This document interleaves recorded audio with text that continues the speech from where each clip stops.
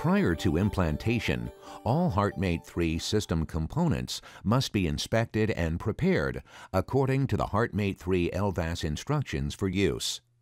The equipment needed for implant includes the power module with system monitor, a pair of fully charged 14-volt lithium-ion batteries and battery clips, a primary and backup implant kit, and a backup system controller.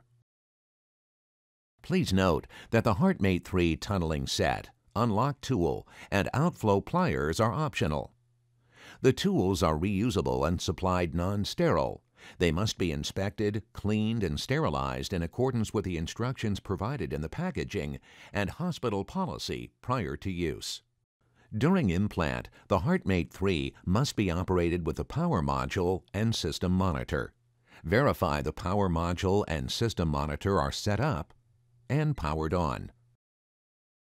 When system monitor initialization is complete, the HeartMate logo with flashing message Not Receiving Data will appear at the bottom of the screen.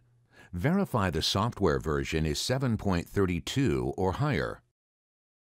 Make sure that at least two batteries are fully charged in the battery charger and a pair of battery clips are readily available to facilitate patient transport from the OR. See the HeartMate 3 IFU provided in the implant kit for instructions on setup and operation. After confirming with the surgeon, open the implant kit and remove the instructions for use manual and the device tracking registry form with product tracking labels. The serial numbers of all implanted components in the system controller should be recorded on the device tracking registry form using the stickers included in the envelope. Verify that the serial numbers on the device tracking stickers match the serial numbers on the respective product component boxes. The device registry tracking information must be sent, either electronically or as hard copy in the envelope provided.